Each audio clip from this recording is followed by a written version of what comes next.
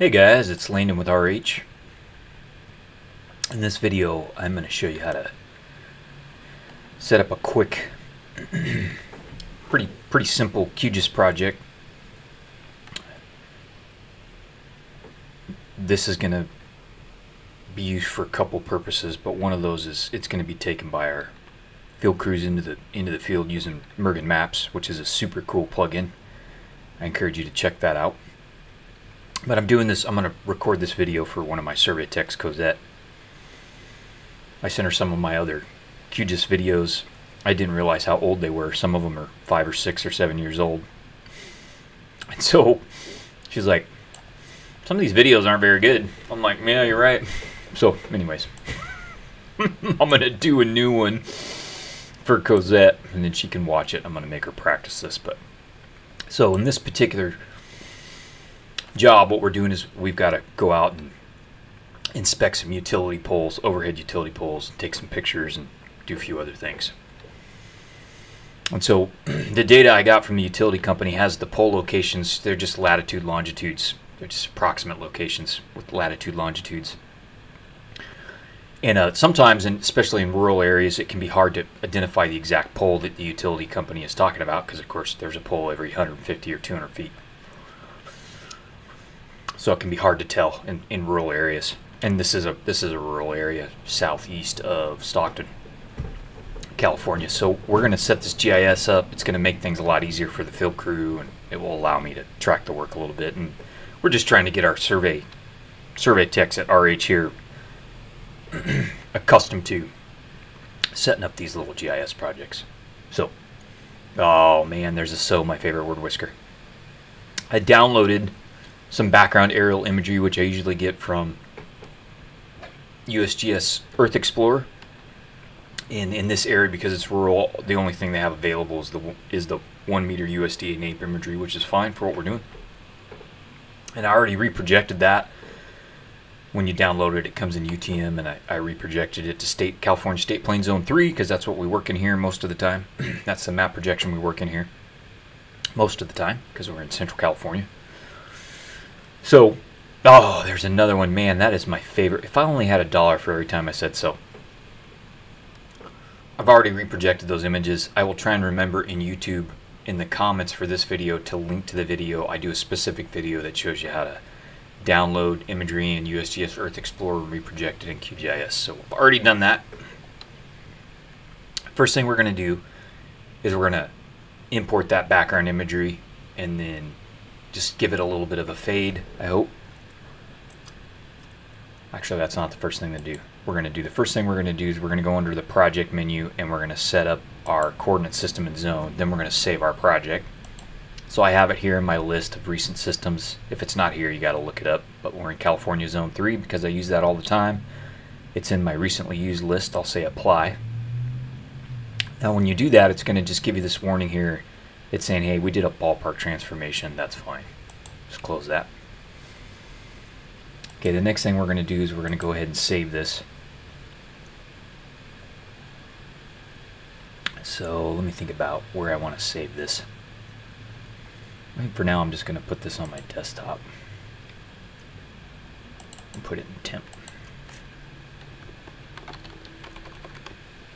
And we usually call these MPF or master project file. Save that. All right, now we're going to add our raster imagery. Sorry, layer, add layer, add raster layer. And I'm going to just browse for that real quick. So I've got these two TIFF files that we're going to import. So I've just path to those and I'll say add and they will load. Alright, that looks better. Okay, so that's state plane. Sorry, I grabbed the wrong map projection there. Also, key to having a successful GIS project is choosing the right map projection. Okay, so we're going to get our other data in here. We're, we only have one other layer that we're going to put in here, and it's it's the parcel layer, the county parcel layer. So let's go ahead and get that. We're, and we're, it's a ton of data. We're going to get it in here, and then we're going to end up cutting some, cutting out a, a chunk. We just want the data for our area. So I'll show you how to do that. So first we're going to just add the whole county parcel layer.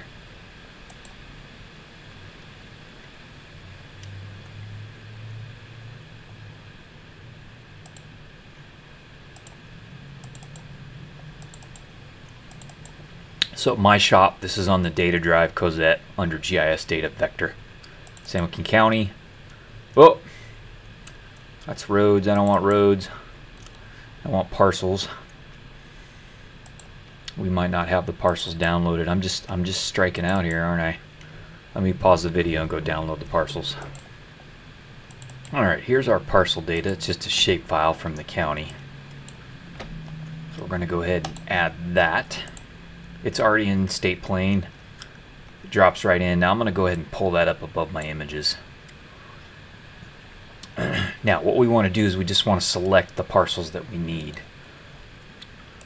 So to make that a little bit easier, I'm going to go into the properties of my layer and I'm just going to put a transparency on this uh, fill here so I can see the images underneath.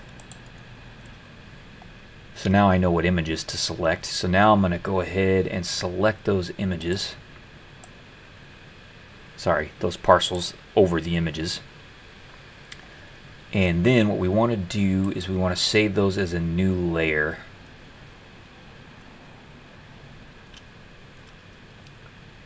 I'm trying to remember how to do that.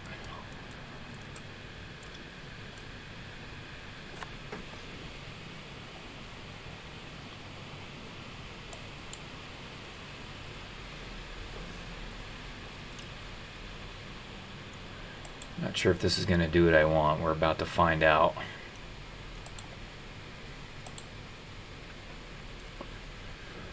Oh, we're going to just put this for now on that same temp folder.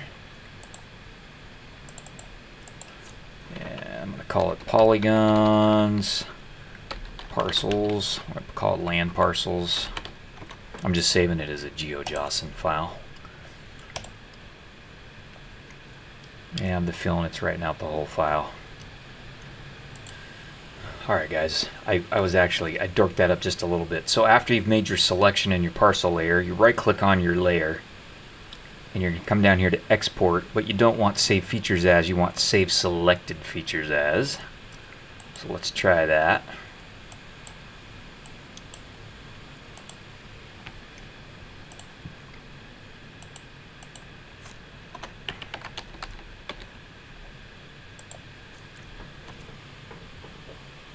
Okay, so now we should have a new layer that just has the, the, the parcels over our project area. So I'm going to remove the county-wide parcel layer. and you can see now we've got our two data sets. So we've got the raster layers, the rasters, and then we've got the parcels. And I like to put all my rasters in a common, what they call a group. So we can just make a group here called USDA NAIP and then we can take these and we can just drop them in there and that allows you to turn them on and off as a, as a unit there like they were like they're on a common layer. Okay so what I want to uh, there's a so what I want to do now is just do a little bit of styling in here. So we're gonna open up the properties on our parcel layer. And we're gonna just do a couple things. Now we have we have a parcel style. So Cosette, we have a parcel style that you can import, but just for the purposes of training, I'm just going to show you guys how you can set this up. So I'm going to set this to a little bit of a gray, and then I'm going to set the transparency down. We'll go about 60%. And then we're going to go to labels, and we're going to just label the APN attribute. So that's already the default there and we're going to go with Dosis because that's our standard company font here. And I'm going to say 12 points high and then I like to do a little buffer on there. So we'll do a 3 pixel buffer. We'll say apply. And give it a minute there to redraw